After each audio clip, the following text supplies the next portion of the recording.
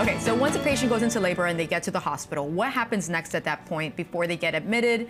Anything they can do to prepare for vaginal birth? So assuming that they're there for normal labor, mm -hmm. obviously they're going to get admitted. Uh, usually in the hospital setting, they're getting an IV.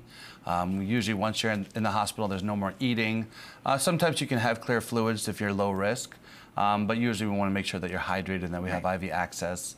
Um, and they're going to basically put you uh, in the bed and use a fetal monitor depending on your setting. Sometimes it's intermittent monitoring, sometimes it's continuous, but basically it's like getting a, a tracing of the heartbeat of the baby and making sure that the baby's healthy and timing the frequency of the contractions. Now, this is something you and I discussed backstage, which are birth plans. Now, you had a great comparison. You said a birth plan is like a script. Tell mm. me a little bit about why. So a lot of patients like to put together a birth plan, which is an idea of how they'd like their labor to go in an ideal situation. Whether they want pain medication, who do they want in the room, their preferences for vaginal or cesarean, um, uh, breastfeeding or bottle feeding.